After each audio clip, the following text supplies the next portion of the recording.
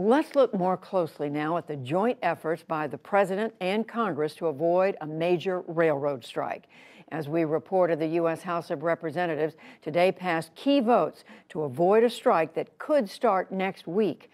Lisa Desjardins has our report and then looks at some of the key issues in the dispute. The gentleman is recognized. Today in Congress, both parties fervently engaged in trying to avert a national economic blow, a rail strike in just over a week.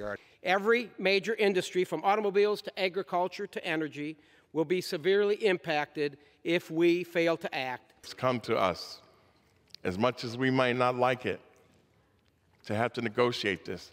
The House took the first step today. The yeas are 290, the nays are 137 passing a bill to force a tentative labor deal into place. Back in September, skies looked clear as the Biden administration helped broker that deal with union chiefs. That agreement would raise salaries by 24% over five years and give thousands of dollars in retroactive bonuses to rail workers.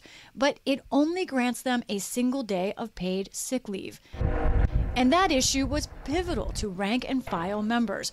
As a result, four unions, including some of the largest, voted down the plan and are threatening to strike. A sense of impending crisis was one reason Mr. Biden called congressional leaders to the White House yesterday to get Congress to step in and force the deal. There's a lot to do, including uh, resolving the train strike, the train, uh, the, uh, what we're doing now, and, uh, and Congress, I think, has to act to prevent it. It's not an easy call, but I think we have to do it.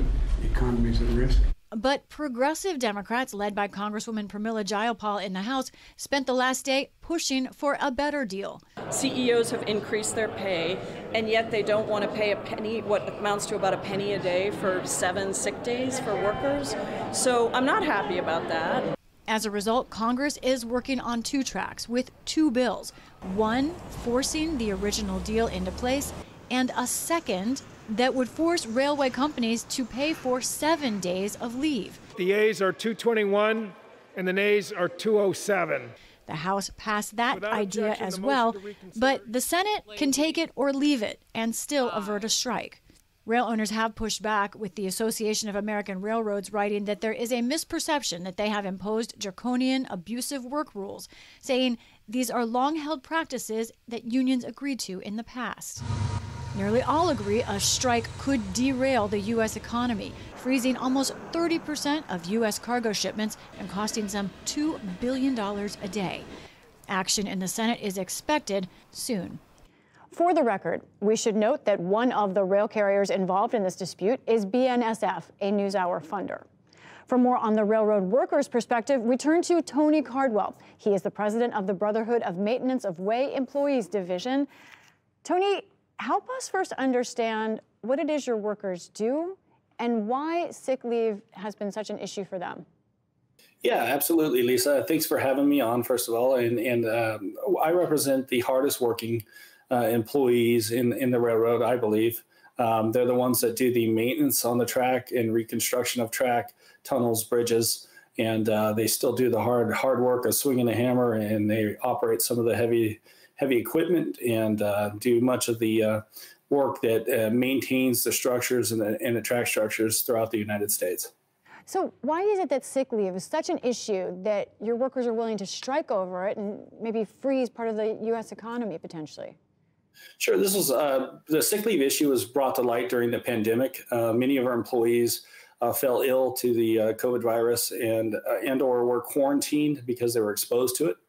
And so, um, in doing so, they were not compensated. And so, our, our members lost thousands of dollars of pay uh, through the multiple quarantines and sickness throughout a year.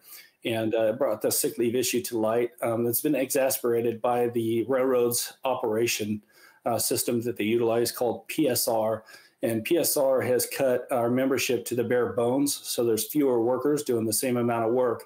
And in doing so, um, it, it, it has forced the policies have forced the employees to be at work. They can no longer call in sick. They can be disciplined if they do so. PSR stands for precision scheduling, which gets to what you're talking about. It's the way the railroads have said they're becoming more efficient, but essentially it's fewer people working longer, longer trains, faster trains. That kind of thing. But, but I want to kind of get back to what's going on with the sick leave, which is a criti- the critical issue here. It seems like railway workers aren't unique in having a pool of time off, vacation time, for example. And some of the railway owners, including the American Association of Railways, argue that railway workers can use that time off that they already have if they are sick. They say that unions agreed to that in the past. What's wrong with that?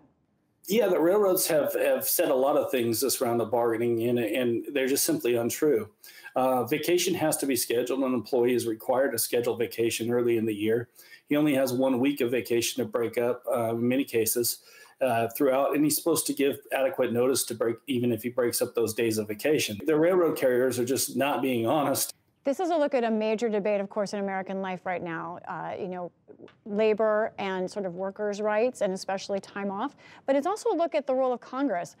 Congress is poised to act to force you into a deal. It may have only one day of sick leave. It may have seven days of sick leave. What do you think about Congress acting and forcing you into something now? So we've been adamant. We don't want to strike. Uh, nobody does. But if Congress is going to intervene and stop our strike, um, we believe they should give us what we would otherwise get in that strike. So the point is this.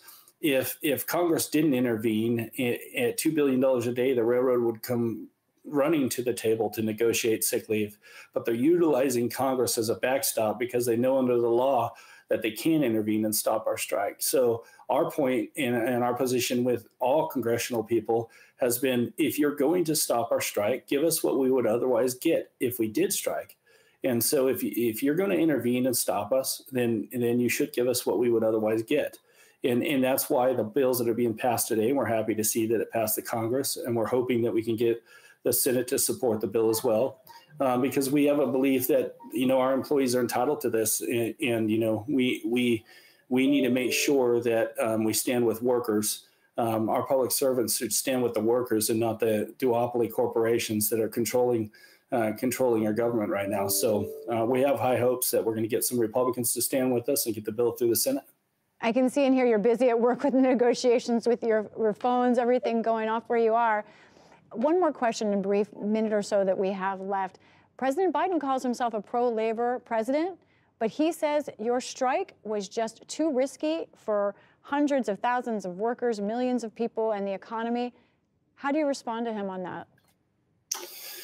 Yeah, we were definitely frustrating with uh, frustrated with what he said. Um, his statement was uh, implied that you know that the, the railroad unions are the problem, and that the and kind of gave cover for the railroads. In my opinion, uh, we wish that he would have made a different statement and uh, come out in support of our sick leave. But he has positioned himself, I believe, to support the sick leave days. And, and I've, his recent statement, he did say that he hopes that the bill uh, passes the Senate. So um, I, he's changed his position on this, and, and I, we appreciate that. We were we're, we're still frustrated that he took the position that he did, um, but you know that we can't always agree. So hmm. say that. Tony Cardwell, we know the clock is ticking, and we do appreciate your time. Thank you for your time, Lisa. I appreciate it.